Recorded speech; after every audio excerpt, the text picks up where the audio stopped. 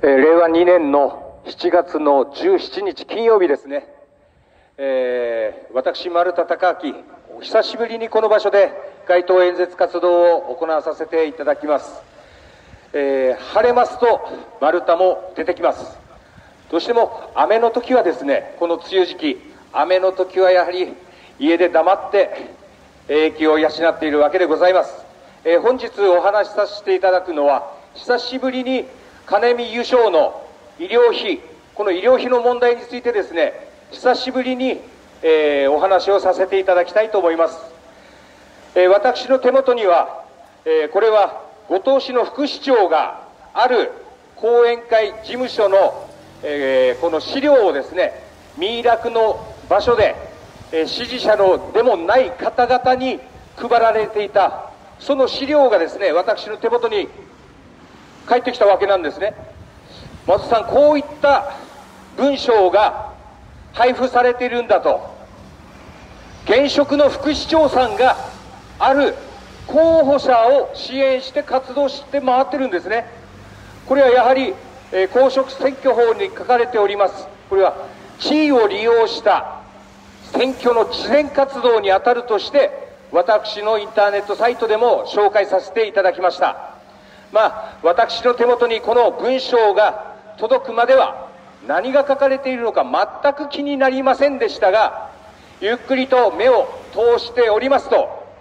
安心して暮らせる島づくりとして、安心して暮らせる島づくりとして、金見優勝対策というふうに書かれております。金見優勝の問題に関しましては、私はもう9年になりますね、これは。えー9年前に、えー長崎県議会の、えー共産党議員でございます、県議会議員の堀江先生が、県議会一般質問にて、この五島市における医療費問題、金見優勝にかかる医療費、まあ、生を受けたわけでございまして、この金見優勝の、えーこの食中毒事故とともに、私は51年間を歩んできたわけでございまして、もうこの問題は、なんか親しげがあるんですね。51年間、五島市、まあ、合併して五島市となりましたが、9町の玉の浦、そして9町の鳴町時代から、五島市合併時において、必要なかった、いらないよという、この不良債権が移されたわけなんです。まあ、えー先ほどの話に戻ります。えー野口一太郎後援会事務所が発行する令和2年度第2号のこの文書、この中に安心して暮らせる島づくり、金見優勝対策として、平成30年11月に、金見優勝事件発生50年記念行事を開催し、とあります。えー記憶の次世代への継承や課題等の共有を図りました。ここで私は、え3年前、3年前の4月に、五島市市役所の国宝健康政策課の課長さんに就任されました、今の現職の課長さんに、この問題についてどう思うのかということで質問書、投げたんですね。そうしますと、全くこの回収できる見込みのない医療費問題、全く知らなかったんですね。市市役所の職員さんですよ。それも新しく課長さんに抜擢された職員がこの問題を知らなかった。いや、それはいかんだと。いかんだろうということで、まあ、彼にレクチャーをし、こういう問題だから一緒に取り組もうということで、え担当部署を通じまして、嘆願書も出しました。この嘆願書の内容が、この問題を後世、まあ、子供たちの未来に残してはいかんだろうと。51年、50年この問題が発生してから50年経過して、この回収できる見込みのないお金、これを後藤氏は建て替え金と名付けております。建て替え金というのは回収できる見込みがあってその方々の代わりに建て替えるお金を建て替え金というと私は思うのでありますが50年間手もつけず、毎年毎年、4000万から6000万増え続けているこの金見優勝にかかる医療費の建て替え金、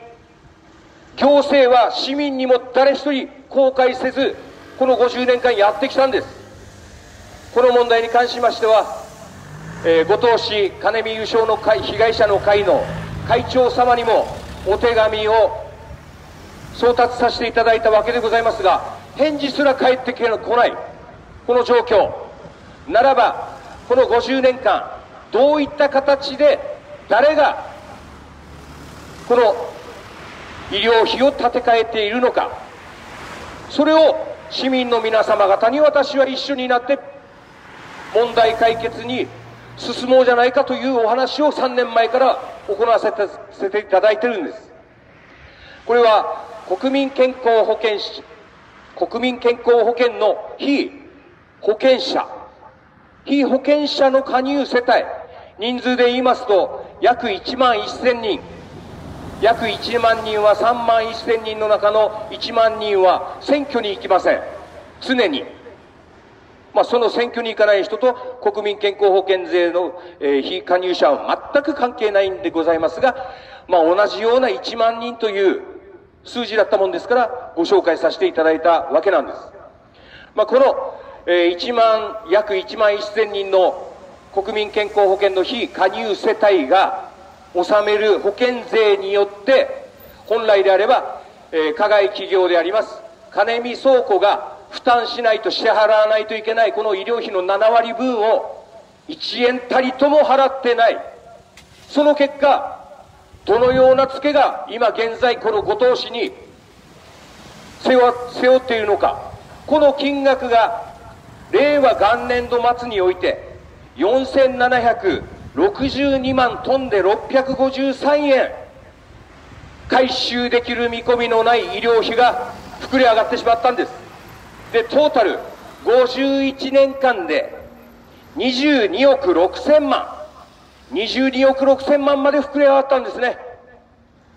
まあ、この界隈にお住まいになられている市民の皆さん、もしくは会社勤めの、えー、皆様方は、あ、これは丸太はずっとこの問題をこの辺りではいつも言っていたと。久々に話したところ、あ、また4600万増えたのかと。この負担は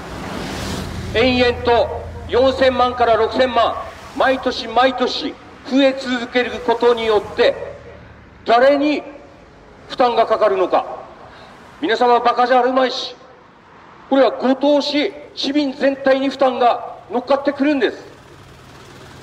え7月の12日だったでしょうか。ある事務所の講演会事務所開きが行われましたという長崎新聞に記載されておりました。記事が書かれておりました。その中で今後、後藤氏は厳しい財政状況なんだと、厳しくなるんだと、財政が厳しくなるんだと、その中で一番最初に取り組まないといけないのは、まずは私が思うに、これは公務員の給与改正しかないんですね。厳しくなるというのが分かっていて、今回はまるまる夏の賞与は出ております。一般の会社では五島市においてまるまる夏の賞与が、えー、出された企業はもうほとんどないんじゃないかとゼロに近いんじゃないかと思われる中でこの公務員だけは優遇する。そして厳しくなるであろうと予想されるこの財政問題に関して。また今回も市民の皆様泣いてくださいなんでしょうか。もう私は嫌われること覚悟で、ここは公務員である市の職員の皆様方の言及に動いて、いくらかでも支出を抑えるしかないんですね。まあ、現在、本日時点において、今日もまた東京都ではかなりのこのコロナ感染者が発生しております。昨日のテレビニュースは GoTo キャンペーン、一方では GoTo トラベルというふうに言われております。それをひねくって GoTo がトラブらないようにということで GoTo トラブルというふうにも言い換えられております。そんな中、長崎県知事は国の方針がに従うと、大変喜ばしいことだと、GoTo キャンペーンが来て、できて、